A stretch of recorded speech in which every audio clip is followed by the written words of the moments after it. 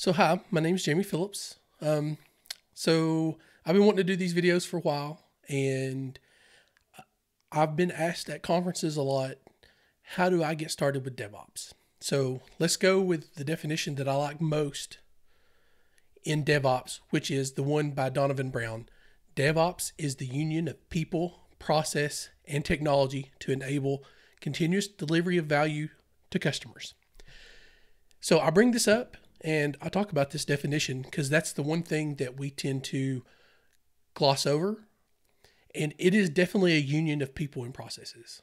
But the thing that you have to keep in mind when you're getting started with DevOps is it's really about people and relationships. When I got started with DevOps, it was about nine years ago. And it's taken me nine years to really get to where I do that every day. And it really started for me when I started hanging around with the operations team. So my background's development, and I started hanging around with the operations folks, started having lunch with them, started understanding what I was doing and how that impacted their lives. They're typically the ones in traditional IT businesses where they're the ones that on call. They're the ones that have to deploy the software that I wrote. And I started learning how to communicate my needs to them ahead of time so they could help me succeed in my job. Because that's really what operations team wants is they want to help the business and you succeed. It may not feel that way, it may not seem that way, but that's really all anybody ever wants on operations, security, you as a developer or as an operations person. Everybody wants success. And I think we lose that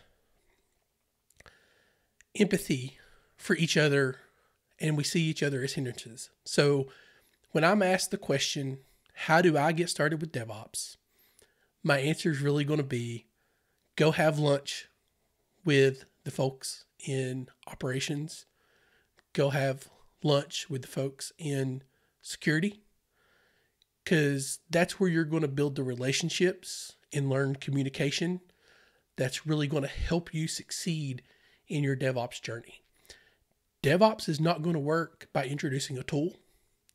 DevOps isn't a tool. Processes and practices of DevOps are important. But if you don't have relationships with people that you're working with, you don't know them, you don't understand their concerns, you don't have empathy, then you're not going to be successful. It's really not going to help.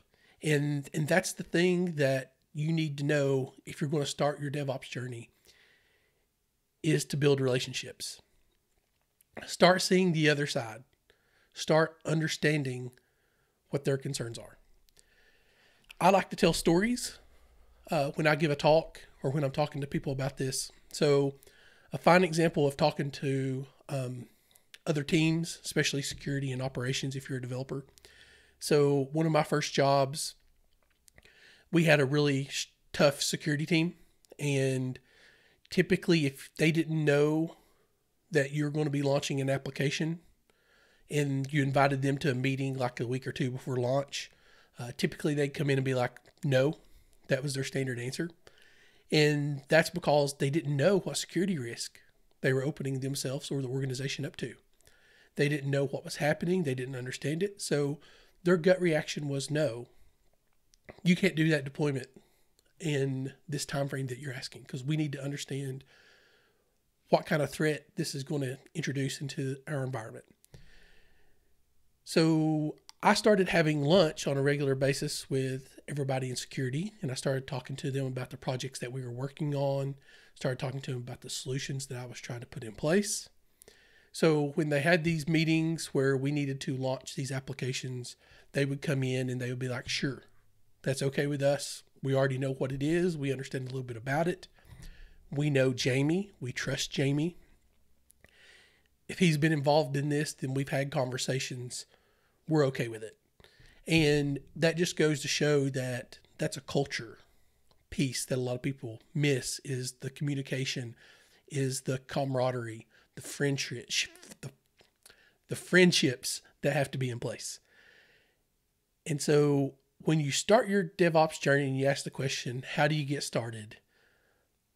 Step one for me is really go make friends, go have conversations, break down those walls, break down those barriers, and start communicating. Only till that culture has been fixed are you really going to be able to embrace the full effects of trying to shift into DevOps because you're going to run into those situations of things that you're going to need other, others' help.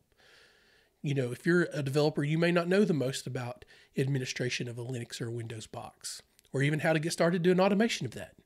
Or maybe you need help with some networking configuration. That's where your your operations team is going to come into that. And you have to include them. You have to make them part of it. You can only work around that team so long if that's what you try to do. And so that's part one of what I really wanted to say is focus on the culture and getting to know everyone.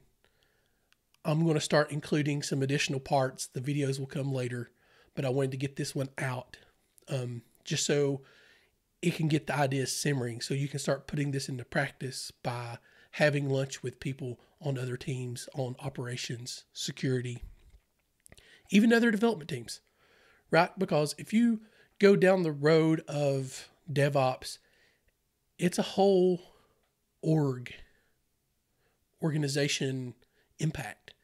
And you need to know that everyone is supportive and on board, and you have to build that support.